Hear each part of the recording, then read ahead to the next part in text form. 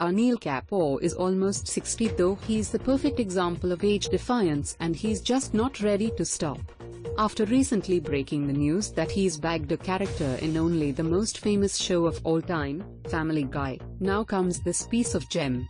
After 24 and Modern Family, Bollywood actor-producer Anil Kapoor has now acquired the rights of another American TV series, Prison Break. Anil is currently busy shooting for the second season of 24.